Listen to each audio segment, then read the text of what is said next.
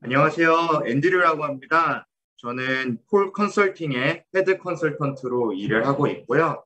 어, 오늘은 폴 아카데미 폴 컨설팅 의미가 깊은 날입니다.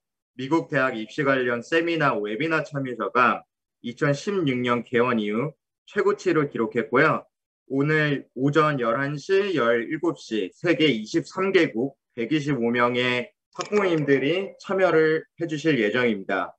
참여해주신 모든 분들을 위해 작은 감사의 표현으로 학생들의 거주국가를 일일이 제가 다 밑에 나, 보시면 다 나열을 했고요. 그리고 또 이 자리를 빌려 특별히 감사의 말씀을 전해드리고 싶은 분들이 있어요. 바로 2021년 가을에 입시를 저와 같이 준비하고 있는 컨설팅 학생의 학부모님들입니다. 길게는 제가 그 학생들과 올해 1월 주니어 때부터 호흡을 맞춰가고 있는데요. 어, 등록해 주셔서 너무 다시 한번 감사하고 그 학생들의 거주 국가는 제가 특별히 볼드 텍스트로 여기 밑에 표시해 놨습니다. 캐나다, 중국, 필리핀, 어, 대한민국, 대만, 미국, 베트남 어머님들 너무 감사합니다. 믿고 저한테 소중한 자녀분들 믿고 맡겨주신 만큼 제가 자녀분들 원하는 대학에 입학할 수 있도록 제가 최선을 다해 노력하겠습니다. 아, 그리고 오늘 웨비나를 보시다가 궁금한 점들이 나오실 수 있는데요. 그런 질문들은 저한테 개인 메시지로 남겨주시면 제가 이제 Q&A 세션 때 같이 고오버 할 거고요.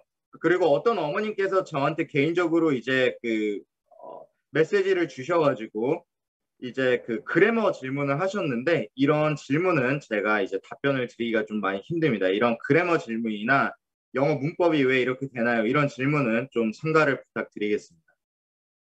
그럼 이제 시작을 하겠습니다. 오늘 제목은 Road to Fall 2022 Admission Success입니다. Who got in and how? 그래서 오늘은 제가 제 개인적인 컨설팅 학생들이 누가 이제 어떤 대학에 들어갔고 어떻게 들어갔는지 그리고 입학처에서 공개한 이제 객관적인 이제 통계 자료를 바탕으로 제가 이제 분석을 했습니다.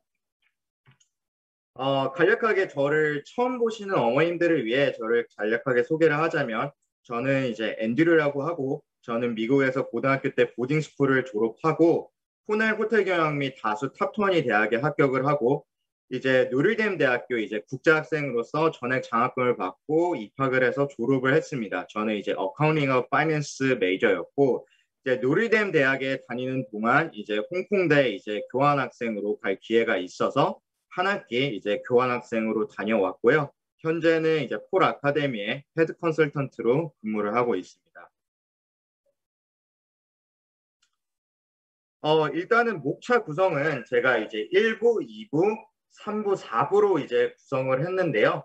일단 어머님들 가장 궁금해 하시는 게 사실 3, 4부에 가장 많이 포커스가 되어 있으실 것 같아요. 근데 일단은 어, 학생별로 다 차이가 있고 원하시는 대학이 있기 때문에 사실 3, 4부만 제가 진행을 할 수는 없습니다. 그렇기 때문에 일단 51위에서 100위권 대, 대학의 어, 스펙 분석이나 이런 것들이 1부에서 들어가고요.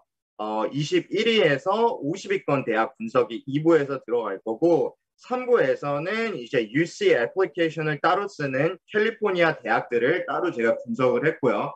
4부에서는 이제 아이비리그 대학들을 포함한 top20 대학들을 한번 그 입시 분석을, 입시 결과 분석을 한번 해봤습니다. 아마도 유익한 시간이 될 것 같고요. 또 다시 한번 말씀드리는데, 어, 설명회를 보시다가 궁금하신 점들이 있다면 이제 채팅창에 남겨주시면 제가 이제 4부가 끝나고 다 이제 그 앤서를 고오버 할 거기 때문에 그 점은 이제 어 참고해 주시면 될 것 같고요. 오늘 그 제가 3부를 준비한 이유는 사실 캘리포니아 어머님들이 상당히 등록을 많이 해주셨어요. 그래서 아마 UC 대학의 관심도가 높기 때문에 제가 3부는 따로 이렇게 스페셜하게 준비를 했습니다. 일단 51위권에서 100위권 대학 중에서 어머님들이 관심 가질 만한 학교들을 제가 나열을 하고 이 학교들의 어, 그 유명 메이저들을 좀 나열을 해봤습니다. 아 그리고 여기 있는 모든 랭킹들은 다 US 뉴스 기준입니다. 일단 퍼듀대 같은 경우에는 US 뉴스 기준으로 53위에 랭크가 돼 있고요. 공대로 유명한 학교죠. 그리고 시라큐스 대학 같은 경우에는 이제 커뮤니케이션이랑 이제 저널리즘이 가장 유명하고 58위에 위치해 있는 학교입니다. 그리고 어, 워싱턴 주립대 같은 경우에는 이제 그 마이크로 본, 마이크로소프트 본사가 시애틀에 있다 보니까 이제 컴사나 information science나 data science로 유명하고 이 대학은 이제 US 뉴스에 58위 랭크가 돼 있고요. Penn State로 알려진 Penn State University at University Park는 63위에 위치해 있고 이제 비즈니스나 좀 이제 딱히 유명하다고 뭐 떠오르는 건 없지만 어, 비즈니스가 유명한 것 같아요. 제 친구 같은 경우에도 이제 Penn State 비즈니스 학과를 졸업을 해가지고 이제 컨설팅 firm에서 일을 하기 때문에 제가 대표 major는 비즈니스로 넣어놨고요. 이제 우리나라에서는 소위 이제 학비가 비싼 대학으로 알려진 조지 워싱턴 대학 같은 경우에는 이제 국제관계학을 전공하고 싶은 학생들이 어, 많이 가는 학교죠. 66위에 위치되어 있고요. 이제 인디애나 주립대 같은 경우에는 이제 비즈니스로 유명하기 때문에 어, Kelley School of Business 상당히 유명하죠. 76위에 랭크되어 있고 제 친구 같은 경우에도 이제 인디, Indiana University Bloomington을 나와서 이제 실제로 월스트리트에 근무를 하고 있기 때문에 사실 뭐 이 랭킹들이 크게 의미 있지는 않아요. 어떤 전공을 하고 어디에서 하는가 보다는 자기가 이 대학들에 가서 어떻게 하는지가 사실 저는 현재 취업일 어, 현재 취업의 석세스라고 성공을 하고 있습니다.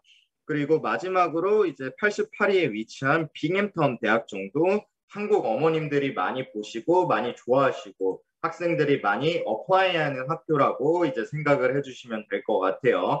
그래서 이 학교들을 누가 합격을 했고 학교들은 어떤 입시 결과를 발표를 했는지 한번 다음 슬라이드에서 케이스 스터디를 많이 해볼 건데요. 제가 이제 케이스 스터디 처음으로 준비한 학교는 이제 88위에 위치한 빙햄턴 대학인데 많이들 오해하시는 게 사실 51위권부터 100위권은 들어가기가 정말 쉽다. 뭐 GPA 3점대도 다 들어가고 음, SAT 없이 너무 쉽게 들어간다. 이런 오해들이 있어가지고 제가 일단 좀 그 오해를 먼저 풀어보겠습니다. 이거는 일단 빙햄턴 공식 홈페이지에 공시된 자료고요.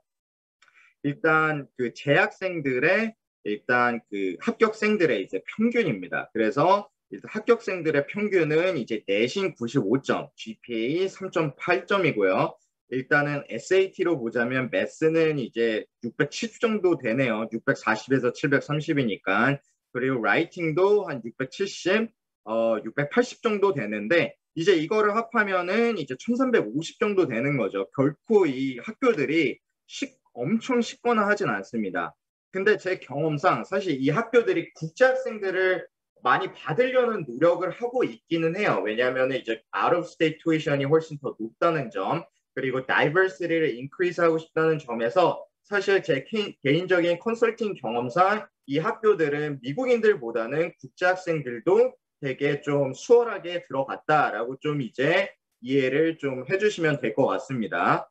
어, 그리고 일단 사실 ACT 평균 보면 꽤 높아요. 31점이거든요. 그래서 88위에 위치한 빙햄턴 대학 같은 경우에도 어, 그렇게 공부를 막 떨어지는 수준이 떨어지는 학생들이 온다라고 생각을 하시면 안 돼요. 저 같은 경우에도 이제 미국에서 고등학교를 나왔는데 미국 친구들의 특징은 사실 다 공부를 잘한다고 다 아이비리그를 가지 않아요.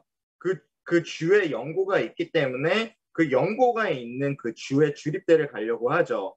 조지아에 있으면 유니버시티 조지아에 가던가 이제 메릴랜드 거주자면 이제 University Maryland 뭐 이런 데를 가는데 전교 1등, 2등도 이 대학교들을 갑니다. 이 대학교에서 이제 전액 장학금을 받고 가는 경우가 많기 때문에 GPA나 이런 부분이 높고요. 사실 제 친구 중에서는 한 명이 이제 로스쿨을 가려고 하는데 어, 제가 이제 알라바마에서 고등학교를 나왔거든요. 어, 알라바마 로스쿨을 가더라고요. 아이비리 로스쿨이 됐는데 그 이유는 이제 로스쿨을 준비 어, 그 졸업을 하고 그 지역에서 프랙티스를 하기 때문에 사실 어, 변호사 같은 경우에도 어떻게 보면 클라이언테일이 되게 중요하잖아요. 그렇기 때문에 사실 대학의 순위보다는 어떤 대학을 가서 자기가 어떻게 하냐가 더 중요할 수 있다는 말씀 좀 드리고 싶고요. 그리고 일단 다음에 이제 케이스 스터디를 해본 학교가 이제 University Washington입니다. 이 학교가 유명한 이유는 일단 유명하고 일단 학부모님들 선호하시는 이유는 아마 시애틀이라는 도시에 위치해 있지 않을까 싶은데요. 일단은 공식 홈페이지에 공시된 작년 자료를 보면은 전체 합격률은 56%고 미국의 이제 non resident 합격률은 54, 국제학생 합격률은 52%의 수준입니다. 그러니까 막 국제학생이라고 해서 엄청 들어가기가 쉽고 엄청 어렵지가 않아요. 그냥 동일한 선상에 위치해 있다고 좀 생각을 해주시면 될 것 같고요. 워싱턴 대학교에서 홈페이지에 가면 되게 어, 인트레스팅한 자료가 있어요. 어떤 자료냐면 이렇게 합격자들의 전체 SAT나 GPA 평균을 공개하고 그 밑에 공대 GPA, SAT를 공개하고 또 그 밑에 컴사 어 컴사 GPA나 컴사 이제 그 SAT나 ACT 평균을 공개를 합니다. 그러니까 이거는 어떻게 저희가 해석을 해야 되냐면 같은 주립대라도 요즘에 STEM 계열은 훨씬 어렵다. STEM 계열은 another level이고 좀 다른 카테고리로 분류를 하는 게 맞다라고 학교 측에서도 말을 하고 있는 겁니다. 그래서 다음 통계 자료를 보시면 이제 이게 이제 University Washington 시애틀의 이제 합격자들의 이제 평균인 거죠. 그래서 이제 어, 오늘 참여해주신 어머님들 대부분 국제학생들이기 때문에 non-resident, out of state, international의 평균을 보면은 한 3.8이 넘습니다. 그리고 ACT 평균은 32점 정도 된다고 생각해 주시면 되고 SAT는 1453, 40, 50 이 정도 된다고 좀 생각을 해 주시면 되고 바로 이 통계 밑에 어떤 자료가 있냐면 엔지니어링 스쿨의 통계가 있습니다. 보시면 University Washington의 엔지니어링 스쿨 평균은 3.9 이상이죠. SAT 평균도 1470 정도 되고 이제 ACT 같은 경우에도 이제 33, 34 굉장히 경쟁력 있는 점수다. 같은 대학 안에서도 우리가 STEM 계열은 따로 분류를 하고 조사를 하는 게 맞다라는 이제 말씀을 드리려고 이 자료를 보내 보여드리는 거고요. 특히나 컴사 한번 평균을 보시면 놀랄만합니다. 컴사 평균을 보시면 3.95, 3.96이죠. 그러니까 컴, University Washington 시애틀에 들어가는 컴사 전공 학생들은 거의 all A라는 거예요. SAT 같은 경우에도 보시면 이제 1500점 정도 되고 ACT가 35점입니다. 그래서 학교 자체적으로 발표를 할 때도 전체 합격자 평균, 엔지니어링 합격자 평균, 그리고 컴사 평균 합격자, 컴사 합격자 평균을 이렇게 따로따로 발표를 한 걸 보면은 우리가 이제 주립대 안에서도 이제 비엔지니어링 학과, 엔지니어링 학과, 그리고 컴사 이렇게 따로 분석을 하는 게 맞다라고 이제 어머님들은 생각을 해주시면 될 것 같아요.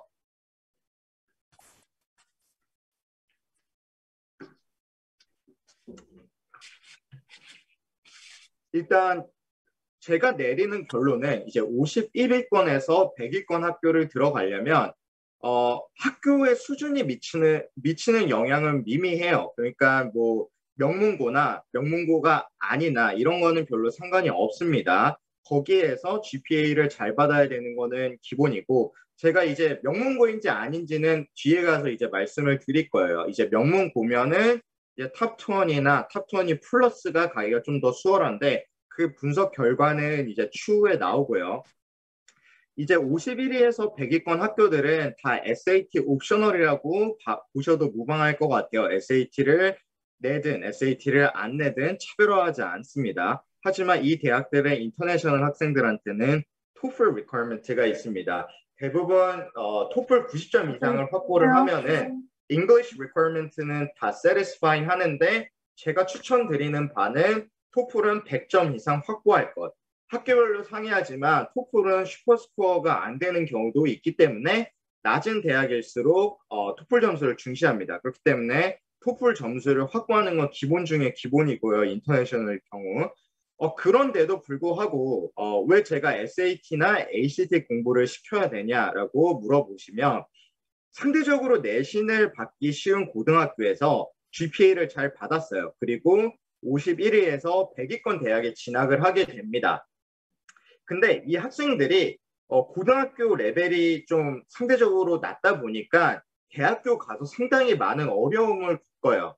그러니까 어, 떤 현상이 일어나냐면 1학년 끝나고 드랍아웃 하는 경우가 되게 많아요. 학교 성적이 힘들어서. 그렇기 때문에 SAT나 ACT를 통해서 영어가 좀 힘든 친구들이 이제 단어 기변을 탄탄히 하고 이제 수학적인 걸 탄탄히 해서 들어가면은 이제 1학년, 2학년, 3학년, 4학년까지 졸업하는데 문제가 없는데 어, 좀 수준이 낮은 학교에서 GPA를 이제 3.9, 4.0을 찍고 SAT 없이 들어간 학생들은 제 경험상 dropping out 피노미나가 상당히 많이 일어나기 때문에 그래도 어, 시간이 된다면 SAT나 ACT를 하는 게 좀 더 경쟁력이 있지 않을까라는 어, 결론을 내려봅니다. 그리고 사실 이 주립대들은 extracurricular activity를 거의 보지는 않아요. 하지만 Common App에 기재할 수 있는 10개의 activity 리스트는 좀 채워야 되지 않을까라고 저는 생각을 하고요. 그리고 아까 앞서서도 말씀드렸듯이 이 51위에서 100위권에 위치한 학교가 상대적으로 진학하기가 쉽다고 하더라도 engineering school이나, school이나 computer science major들은 좀 another level이기 때문에 음, IB를 하시는 어머님들은 어, 과학 과목에서 higher level을 듣는 걸 좀 추천을 드리고요. 그리고 AP 과, 교과목 어, 과정 학교들은 이제 AP STEM 과정 그러니까 AP Physics나 AP Calculus나 AP Chemistry 과목을 듣고 경쟁력 있는 성적을 좀 확보하면 좋지 않을까라는 생각이 듭니다. 그리고 수학 같은 경우에는 일단은 AMC나 AIME 이런 경시대회를 나가고 이제 생물 같은 경우에는 USABO 이런 경시대 경시대회에서 좋은 성적을 받는다면 이제 입학 사정관들이 모두 아는 이제 경시대회이기 때문에 subject knowledge를 보여줄 수 있어요. 그렇기 때문에 어, 일단 activity focus보다는 top 51에서 top 100 학교들은 일단은 학업적인 능력을 먼저 키워야 된다는 게 저의 결론이고요. 근데 제가 무조건 activity가 필요 없다 이렇게 말씀드리는 게 아니에요. 이제 다음 슬라이드에서 50위권만 가도 이제 activity가 필요하게 많이 필요하게 됩니다. 그렇기 때문에 좀 그거 그 부분에 대해서는 좀 기다려 주시면 제가 이제 풀어 드릴 거고요. 일단은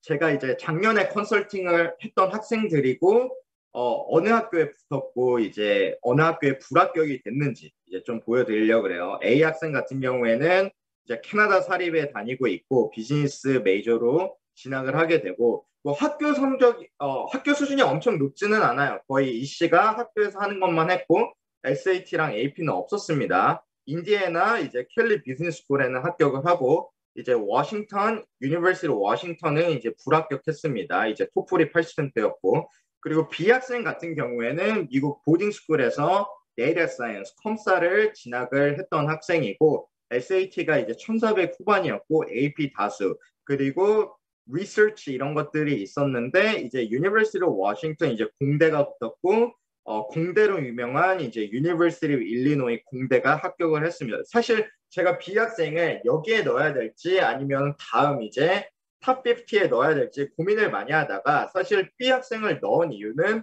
공대는 좀 다르다. 공대는 another level이다. 그리고 STEM 계열은 더 들어가기가 어렵다라는 걸 좀 말씀을 하기 위해서 B 학생의 example을 이 슬라이드에 넣었고요. C 학생 같은 경우에는 홈스쿨링을 했어요. 홈스쿨링을 하고 이제 검정 미국식 검정고사인 이제 GED를 보고 어 사실 GED나 홈스쿨링을 하다 보면 객관적으로 학업 능력을 이제 증명할 수 있는 기회가 좀 어렵습니다. 좀 제한적이고 그래서 이 학생은 SAT를 보게 했고요. SAT가 이제 최종 1300 후반이 나와가지고 조지 워싱턴 대학교에 합격을 시켰습니다. 일단은 스펙 부분은 이렇게 좀 정리를 하면 될 것 같고 사실 스펙 부분이 그렇게 큰 의미가 있지 않아요. 그러니까 학교 개개인별로 그 학교 내에서 비교를 해야지 다른 학교의 학생들과 비교하는 건 의미가 없습니다. 어떤 학교들은 4.0 받기가 정말 쉽고 어떤 학교들은 3.6 받기도 정말 어려워요. 그러니까 어, 롤 모델을 이런 학생들을 잡지 말고 학교 내의 선배들로 기준점을 항상 잡아야 됩니다.